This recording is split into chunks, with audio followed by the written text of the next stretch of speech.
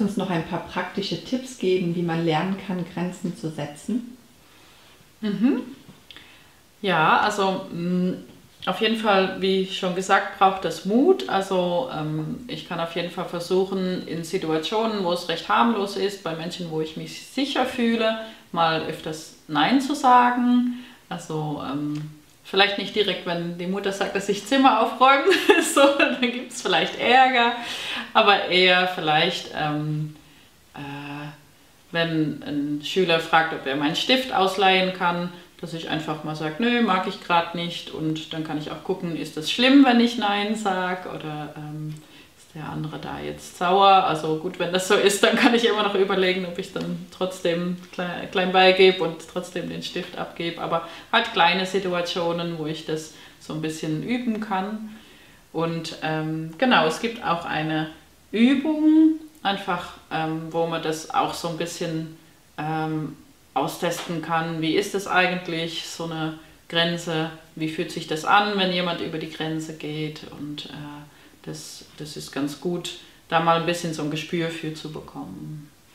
Kann man das dann quasi auch übertragen, wenn man einmal weiß, okay, wie fühlt sich das an, dann kann ich das auch auf andere Situationen übertragen? Ist das so? Hm, so theoretisch schon, aber im Alltag ist es oft auch, also in dieser Übung ist es sehr klar, wo die Grenze ist, weil die markiert ist mit einem Seil oder mit einem Schal oder irgendeinem Gegenstand halt.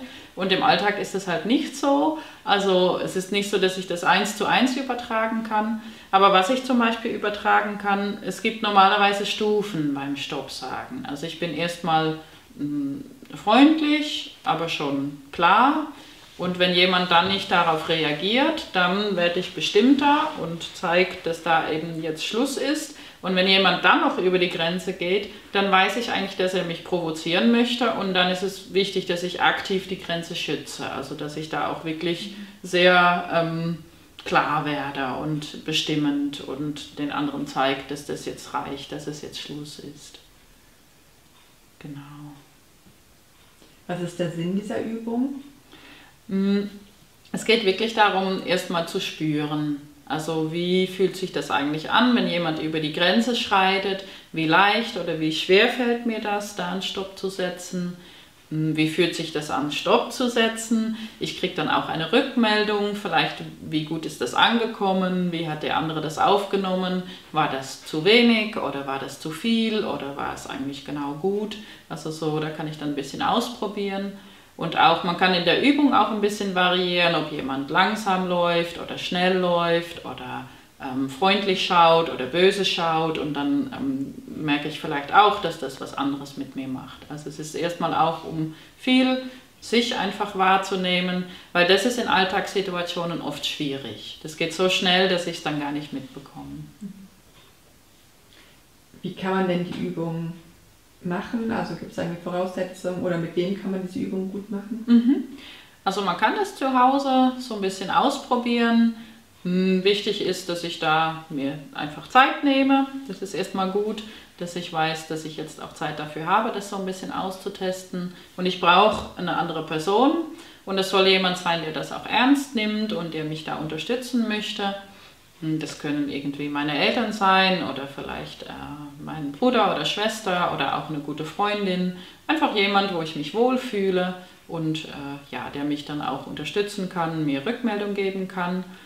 Und die Übung ist vor allem gut, wenn ähm, jemand sehr schüchtern ist, einfach weil das auch so ein bisschen hilft, aus mir rauszukommen, mich zu zeigen. Und, ähm, oder auch wenn jemand Schwierigkeiten hat, ähm, rechtzeitig eine Grenze zu setzen und dann wie bei dem Glas im letzten Video, dass das dann so zum Überlaufen kommt und dann kommt das ja alles auf einmal raus. Also das geht auch darum, das so richtig zu stufen, damit ich andere Menschen eben nicht verletze, wenn ich dann äh, auf eine Grenze, Grenzüberschreitung reagiere. Genau. Ja, dann würde ich sagen, gehen wir zur Übung, oder? Ja, genau.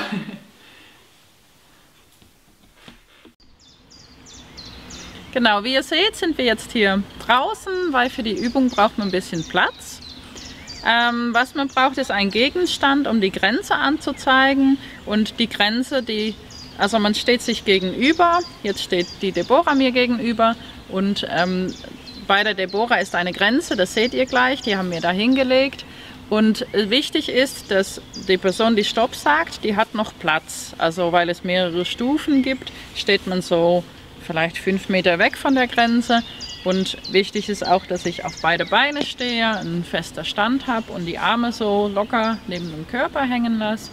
Dann kann ich nämlich auch gut reinspüren, weil es geht ja auch darum zu spüren, wie ist es eigentlich, wenn die Deborah bei mir über die Grenze geht, wie fühlt sich das an und eben auch, wie fühlt sich das an, wenn ich da reagiere. Ja, hallo Deborah, schön, dass du auch dabei bist. Du, ähm, wir haben das ja schon ein bisschen geübt, also du weißt auch, wie das geht. Und ähm, jetzt zu Anfang gehst du einfach auf mich zu und machst erstmal einen Schritt über die Grenze.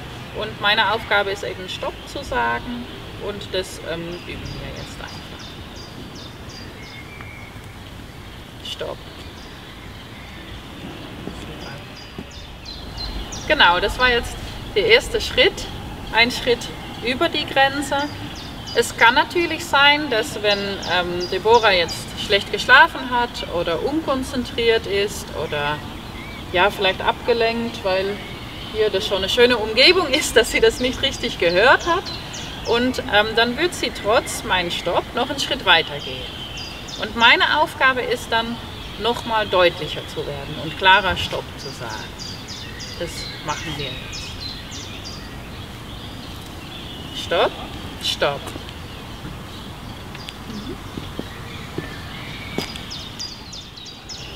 Ähm, was vielleicht noch gut ist, wie die Deborah das ganz schön gemacht hat, sie ist auch immer wieder ein, die Schritte zurückgegangen. Also das ist auch wichtig, dass wenn ich es schaffe, Stopp zu sagen, auch wenn es vielleicht noch nicht so ganz überzeugend ist, aber dass der andere dann auch wieder zurückgeht, weil das einfach gut ist, dann fühlt sich das auch wieder gut an. Jetzt bei dem zweiten Stopp würden die meisten Menschen anhalten. Weil wir Menschen möchten gerne Rücksicht aufeinander nehmen und möchten auch die Grenzen von anderen achten.